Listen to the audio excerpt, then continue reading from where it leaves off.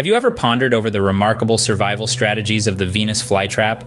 This carnivorous plant has evolved a fascinating method of attracting, capturing, and digesting its prey, enabling it to thrive in nutrient-poor environments.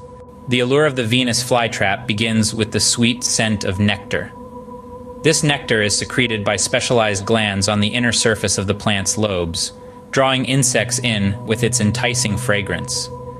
Meanwhile, the vibrant red coloration of the lobes mimics the appearance of ripe fruit, providing a visual enticement for insects to land and investigate. As the insect lands, it steps on the trigger-sensitive hairs found on the inner surface of the lobes. This contact initiates a rapid closure mechanism, and in a blink, the lobes snap shut, confining the unsuspecting insect within the trap. Once trapped, the insect becomes a meal.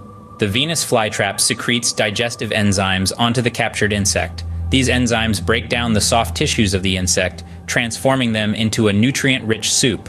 The plant then absorbs these nutrients, particularly nitrogen and phosphorus, which are essential for its growth and development.